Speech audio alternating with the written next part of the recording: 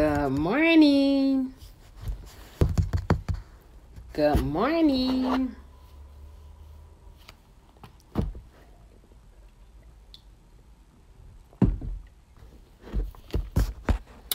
Listen, we are coming to week five of our Abigail Bible study. Coach T here with you on today. All week long, I have been planning to do Abigail's Bible study early just so I can have me a self care Saturday. Yeah, it didn't happen. I'm going to still have a self care Saturday, but I end up just keeping Abigail on her Saturday. We have two more weeks to go with Abigail. Um, actually, we have one more Saturday, and then the last Abigail will be on Wednesday, uh, March 31st. Excuse me, which brings us to the end of um, our 40 day Lent season. Originally, I started this Abigail Bible study to just give my wives some encouragement um, for their next chapter as they prepare for their next chapter. I wanted to um, come on and just um, give wives encouragement. And I felt like Abigail was a good place to start, a good devotional place, um, especially for the wives who I mostly deal with, um, which are wives who are dealing with, you know, toxic, unsubmitted, unsaved husbands. All right. And so I wanted to come on and be an encouragement um, also including in the Lent, um, Lent season, um, I incorporated a fast where I was giving up um, fried foods. I was giving up fried foods for uh, 40 days and 40 nights. I ain't had no Popeye's chicken and no fried rice. Okay, I'm, I'm gonna keep going. Um, and so that's how we originally started. So we are on week five this week. We are on week five this week. And um, this week, we're going to talk about Abigail's truth. All right, Abigail's truth. And so, Father God, we bless you on this morning. We thank you. We give you all the praises, glory, and honor. We thank you, Lord, for your faithfulness, for who you are in our life, how you continue to guide us, lead us, direct us. We pray, Father God, now over this message, God, that it reach to the wives, to the persons that it's supposed to reach, God. May they hear you, God, through my voice, God. I pray that you will stem that, that you would do um, stimulate the minds and souls of the hearts of the ones that you want to hear this, God. May they grab hold to your truth, God, doing this Bible study. As we give you all the praises and glory, Lord, I pray for your covering over it. No backlash. And may the fire of God surround us and keep us. In Jesus' name, amen.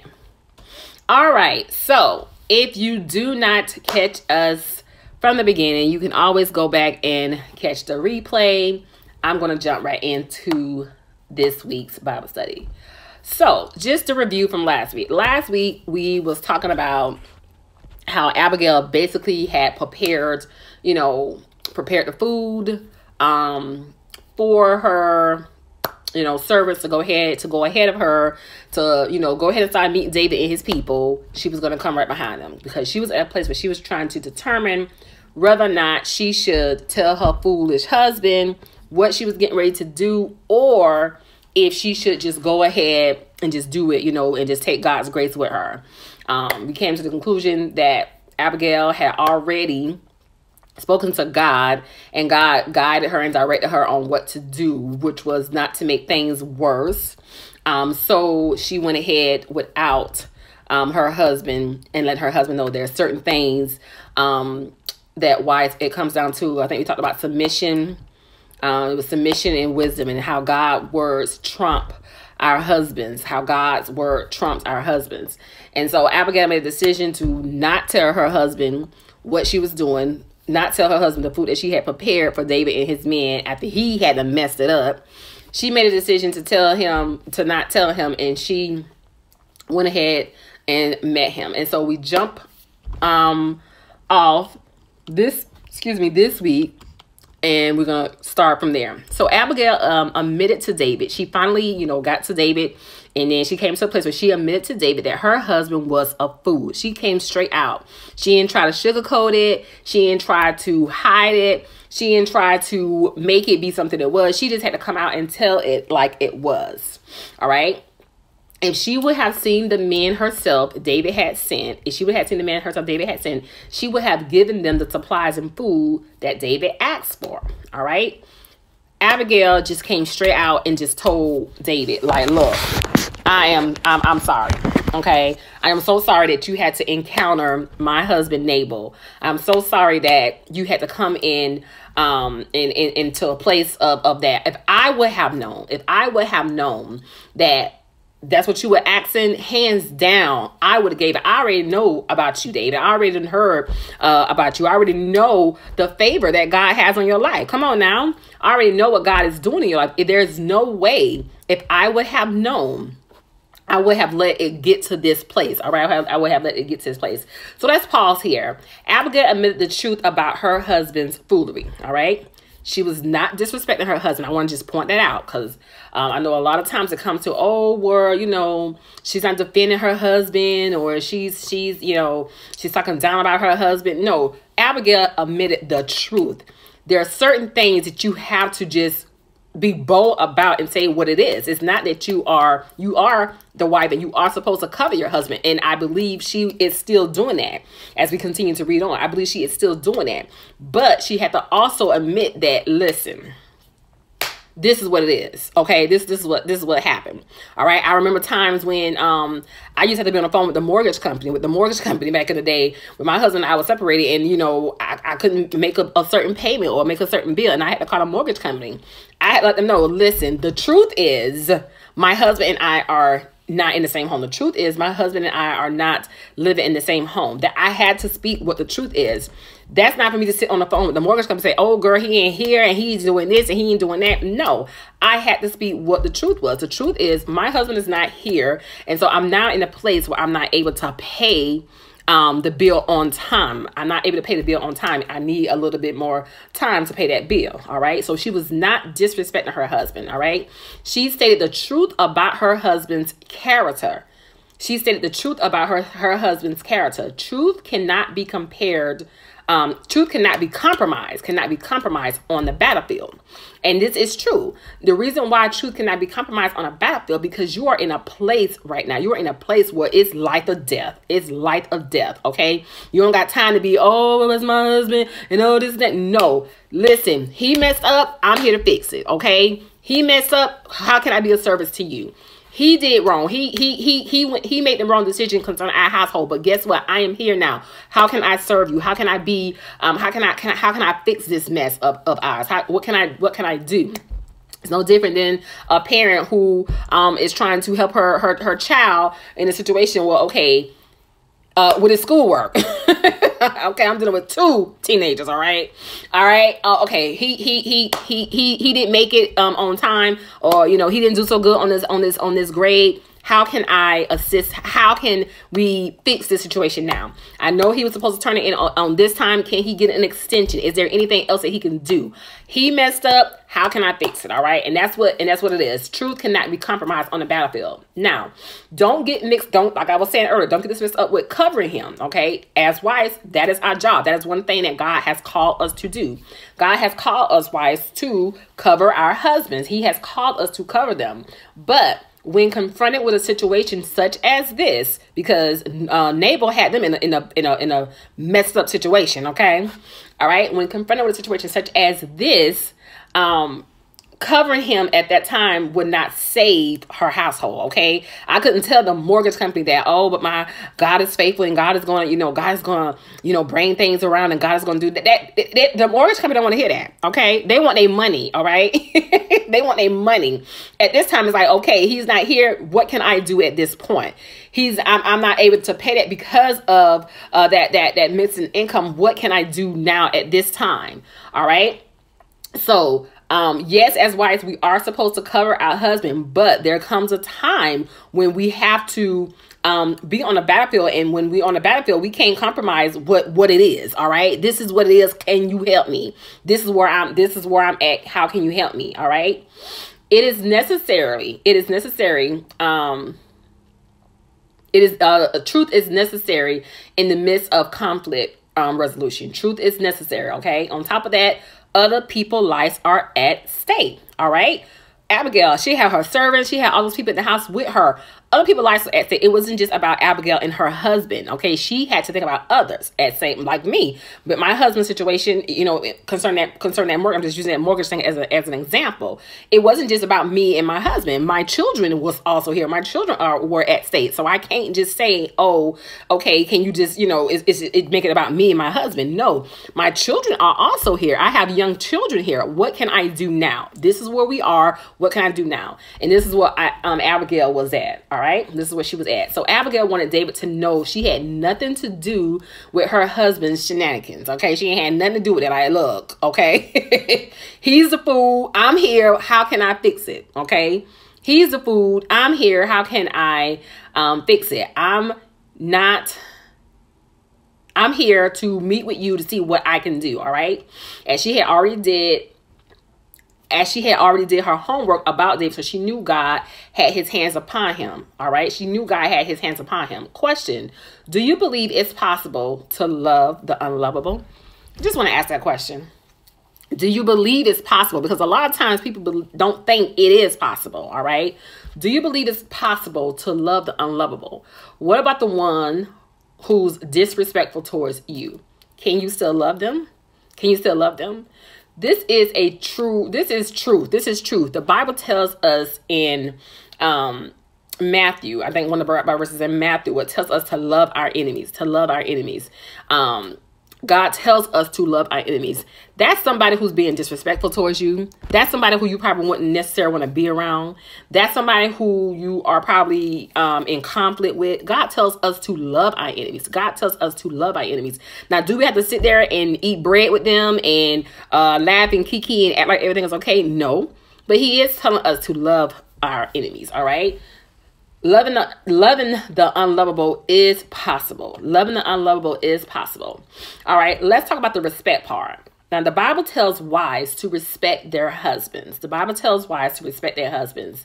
But did he mean when they only respect us or when they are behaving or when they are behaving in, dis- in a disrespectful way? Did God only tell wives to respect their husbands only if the husband is being respectful?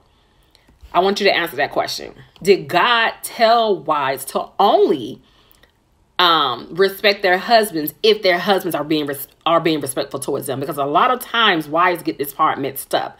Now, I am not on here to condone um, a wife that's letting her husband disrespect him, and she's like, okay.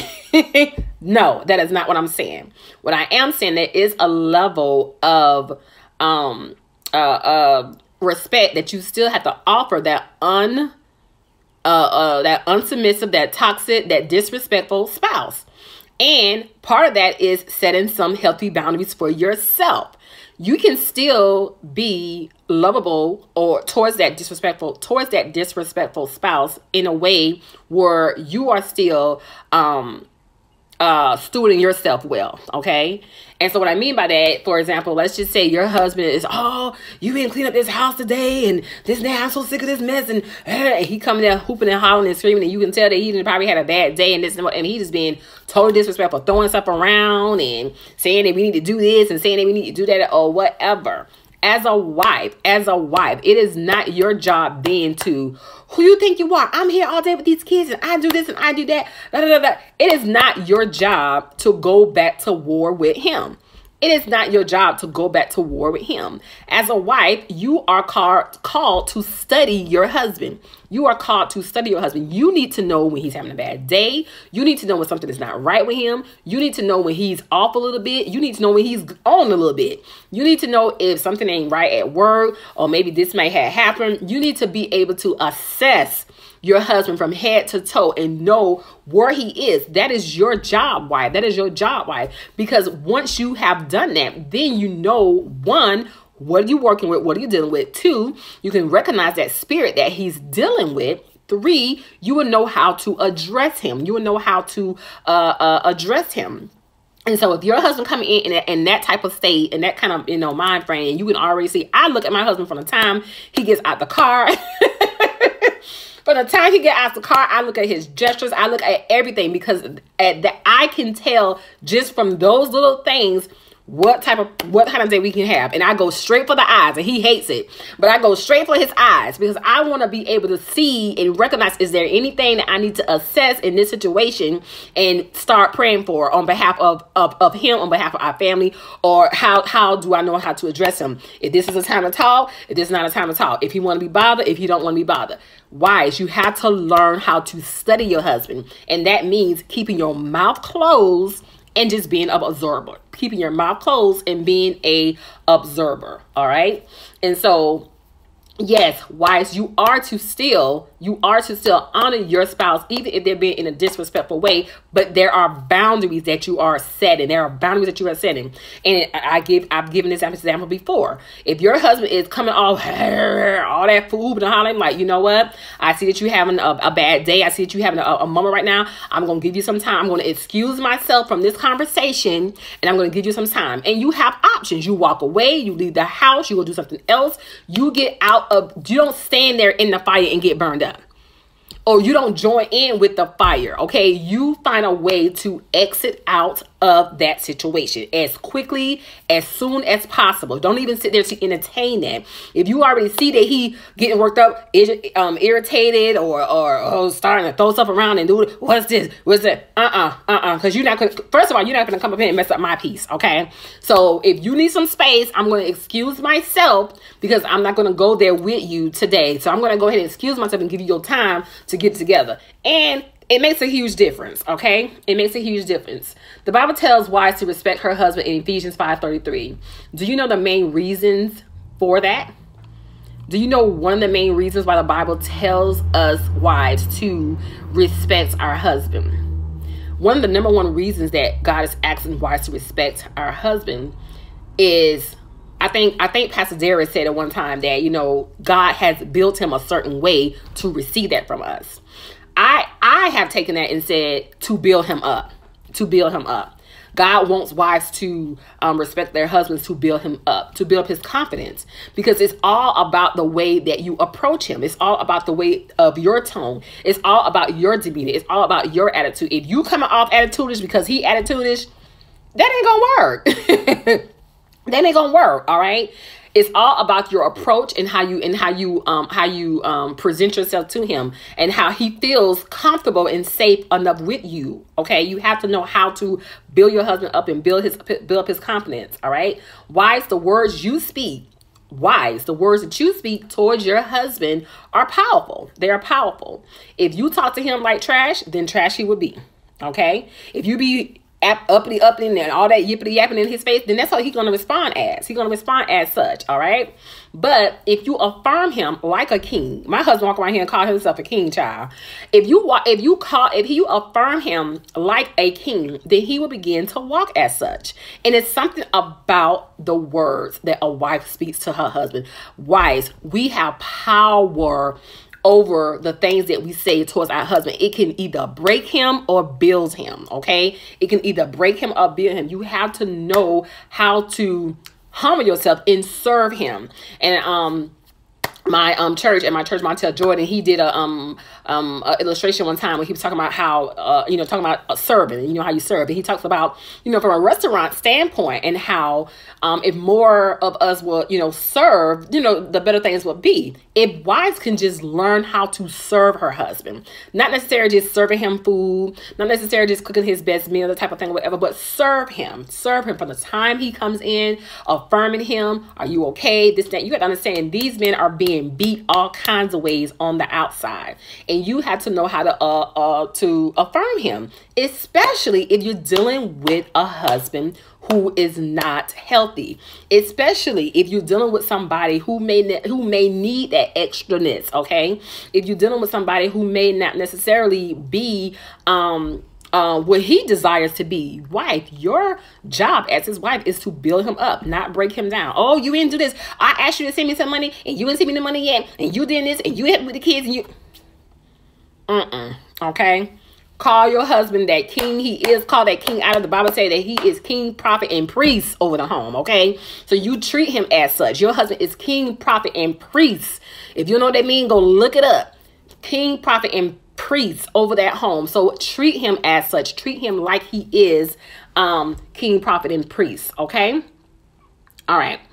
Order must be applied when you are married to a fool. Order must be applied. Wisdom must be applied when you are married to a fool. But respect, respect will give that fool a different way of seeing himself. All right. I have to imagine that Abigail treated her husband some type of respectful way. I can only imagine she had to carry herself a certain way and be a certain way towards him to keep uh, the flow and the order of her home going, to keep that peace in the home.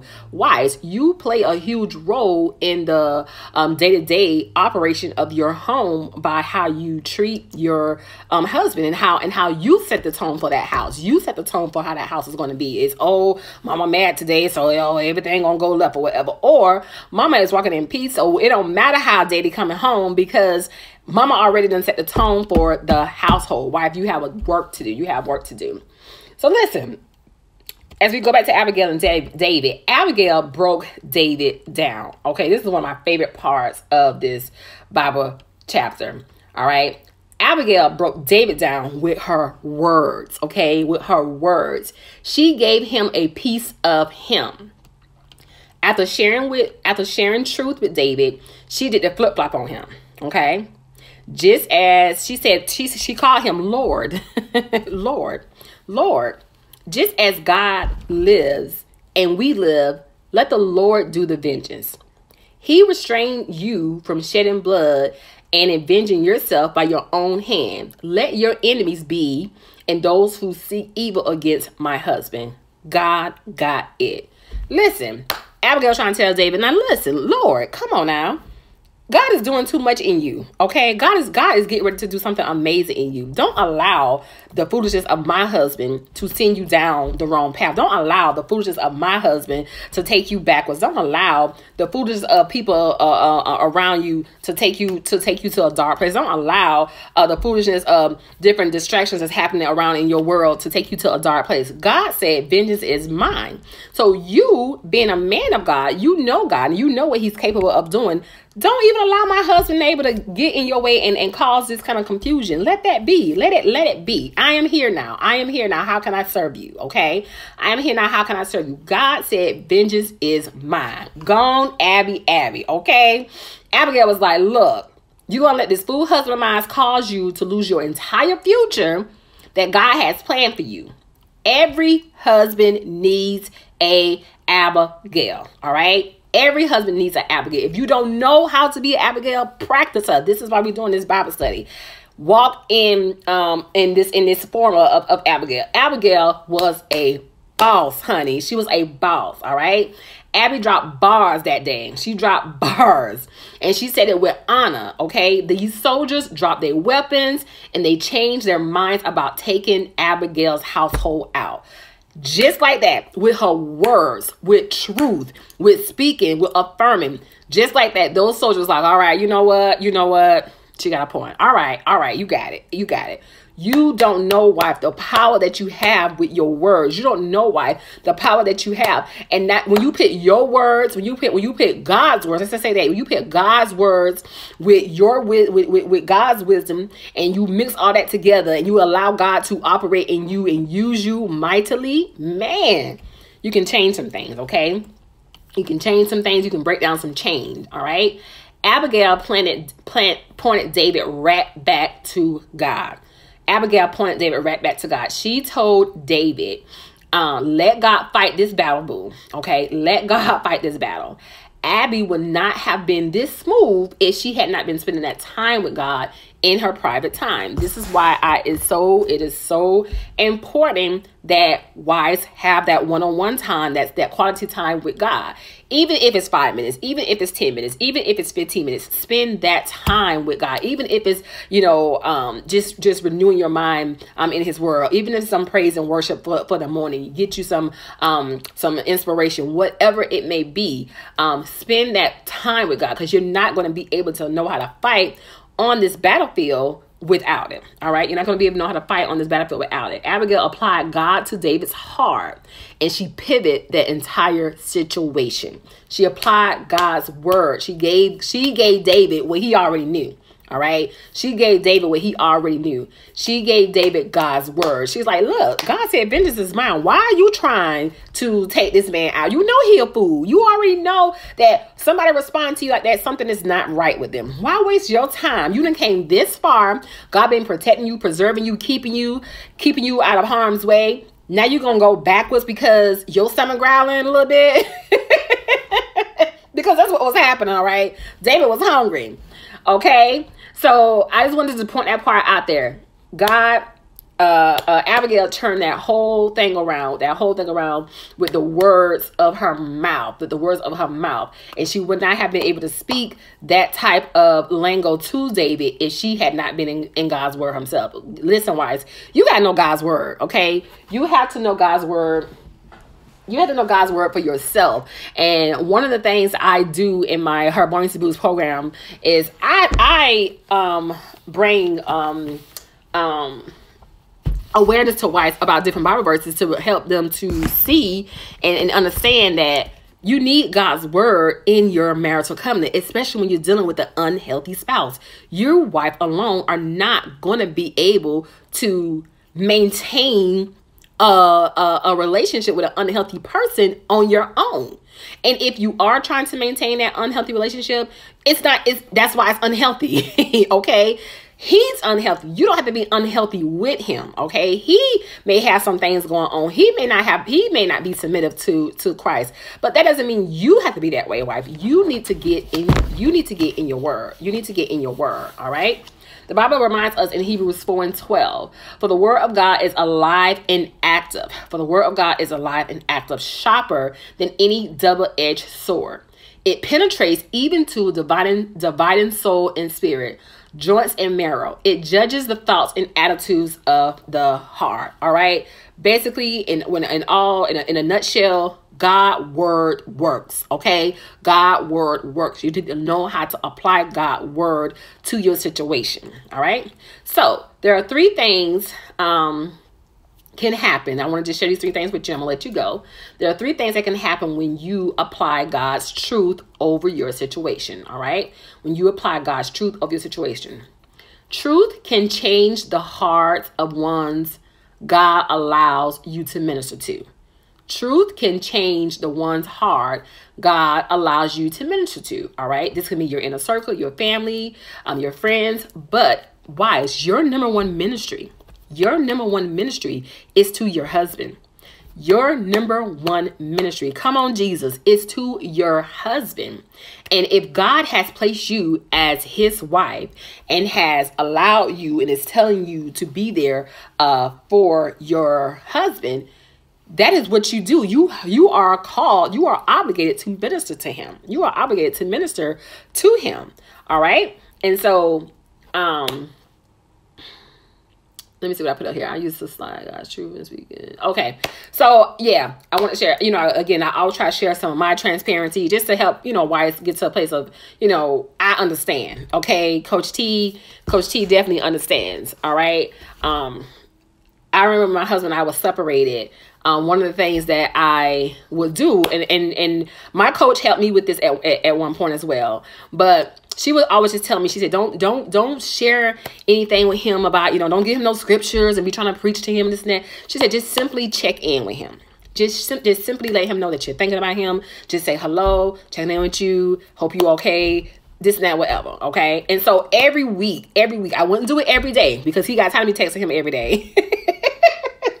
so I wouldn't do it every day. Um, I wouldn't do it every day, but once a week, once a week, I would um send my husband a message. Just let him know, hey, just think about you, um, praying all is well, love you, and that's it. I want, you know, I won't go into detail. I want to express, you know, oh my God, I'm over here dying. I want you to come back home. I ain't doing that. I ain't doing that. Even though the power I was feeling that day, I didn't do that, okay? I didn't do that. I had to walk my walk, all right? And so sharing um um sharing those words with him week after week after week it did something in his heart it really did something in his heart um so truth can change the hearts of ones god um has allowed you even even wife if your husband and i and i tell wives this again, you have to be led by God. You have to know the time and the season and when, because there are sometimes God is telling you, leave him alone. Don't bother him. But there are other times when God is telling you, text that man today and just say hello. Or go check my husband. The Lord would tell me, go check on your husband today. And I'd be like, go check on my, I'll be coming home from work. Uh, been home, work all day and my mind already set on what I'm going to go home and do. And the Lord be like, go see, go, go see your husband today. Like, go see my husband today really God? I ain't even been home to go see my children. And God will allow me to go into my husband. So I would go to his job whatever.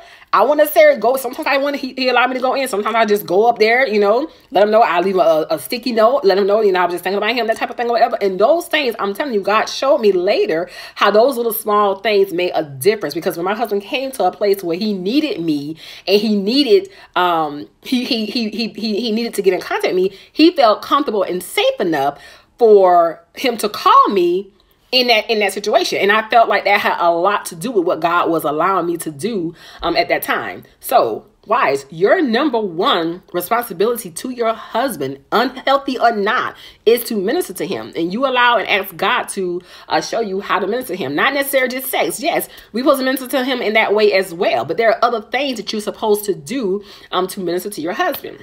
All right Number two, truth can encourage ones to change their minds about a poor decision. Truth can encourage your uh, encourage um, one's minds to change their minds about a poor decision. Many times um, in my own life, I've, I've I've seen these type of things happen. But again, with my I always went to my husband, my situation. That's why I say I understand why it's in this in this place. Um, I again sometimes God would just you know he would wake me up in the middle of the night to pray for my husband. And then he'll tell me to you know to send him a text message or he will um, have me to say specific words to him specific words to him. And I can always tell when it been hit a spot because if it be something that I don't really want to do he would he would text me don't send me this crap. He would it, would it would get to him. But whatever it was God would show me. God would have showed me how he turned things around how he changed things around um during that time. And so you have to be careful, uh, wise, about uh, just speaking your truth, just speaking your truth. This is why it's so important to get in the presence of the Lord. If you get into the presence of the Lord and walk with Him and be obedient and do what it is that He's asking you, God will tell you exactly what you need to get your husband to that healthy place. God will tell you exactly what you need to get you in that healthy place. God will tell you exactly what you need to do.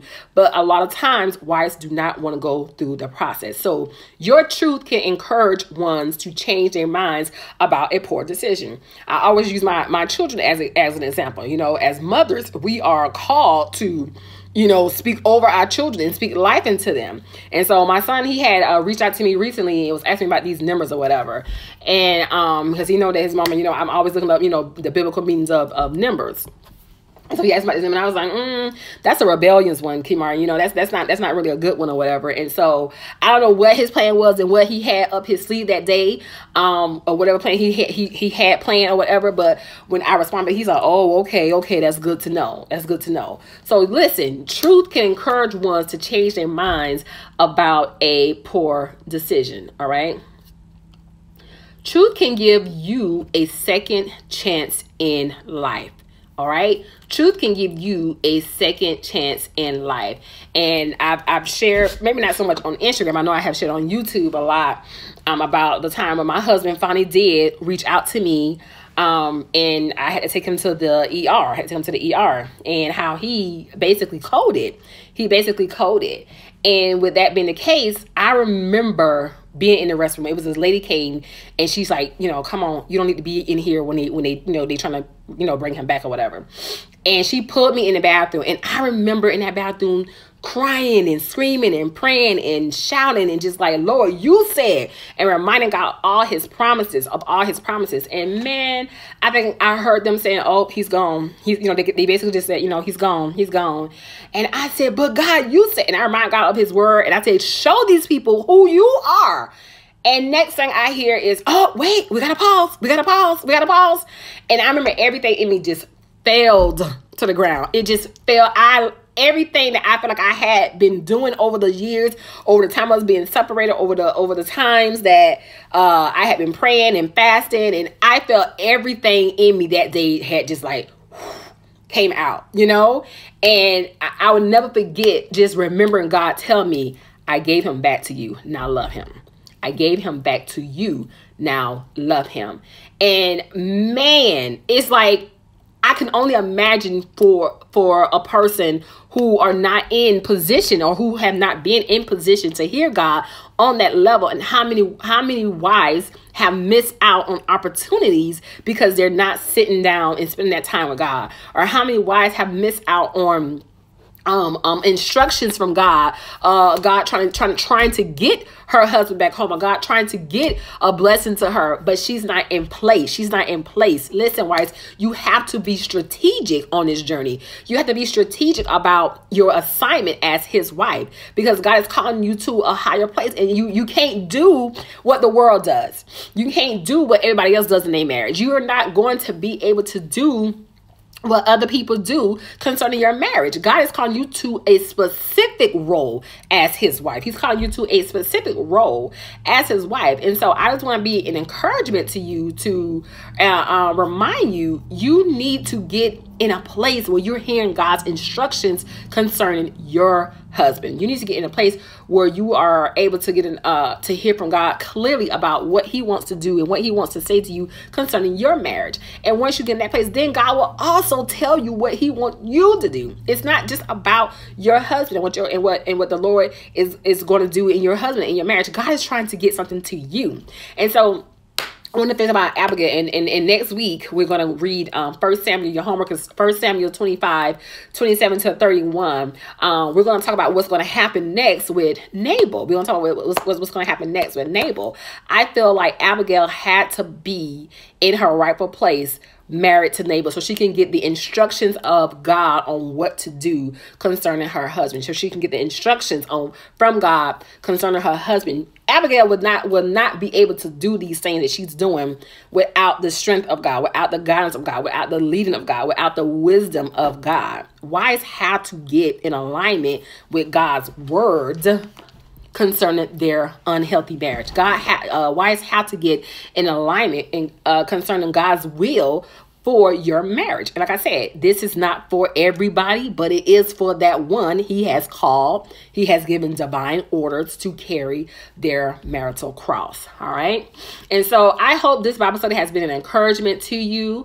I'm looking forward to next week, week six, as we come to um, a close um, we got you know we got six and seven. Seven is is the last week. It's the last week of um Abigail's um uh, Bible study. Okay. Um, if you have not already, if you have not already, um, sign up for your her buoyancy boost, her buoyancy boost. All right. Um, her buoyancy boost is a program that I have specifically for my wives, um, who are in a season of fragileness concerning their unhealthy marital covenant. All right. Um, it is a nine weeks course I offer wives who are ready to invest in their self care, soul care. All right. Ready to invest in a self care, soul care. Um, you get five live sessions with me, five live sessions with me as I journey with you. It's a support. This is support. This is helping you as his wife be what you need to be for your unhealthy husband. Because once you get healthy wise then you're going to be able to uh, win that unhealthy husband back over to you. You're going to be able to win that husband back over to you. And so this is what my um, nine week um, program um, helps you and walk you through it and then as I journey with you, okay? Um, and I guide you and help you and, you know, kind of get you in alignment, get you back in your healthy place so you would know what you need to be doing as his wife, all right? As his wife.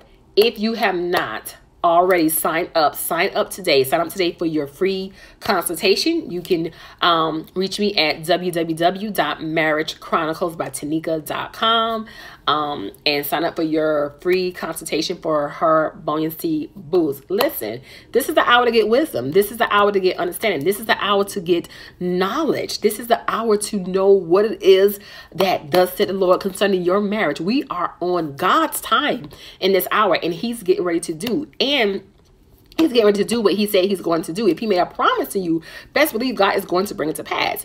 It's going to depend what you have been doing to get to that place? What have you been sowing? Because harvest time is here. What have you been sowing? Because God is getting ready to bring forward the blessings that He has promised you. All right. And so I want to encourage wives on today to get in place, get in alignment. If you have not signed up for your Her Buoyancy Boost, sign up for it today. This is a spiritual investment for the wife to help her become her healthy, whole, authentic self so that her husband, so that her husband, she will draw her husband to her her once she get whole healthy and better on her own then she'll be able to draw him in to get whole healthy on his own as well all right? And so coach t walk you through some practical principles. Um, i do some teach you some biblical principles to help you get to that place to help you to win your unhealthy spouse back to you all right? Listen thank you guys so much for your support. I look forward to speaking with you on next week. Happy self-care saturday. Blessings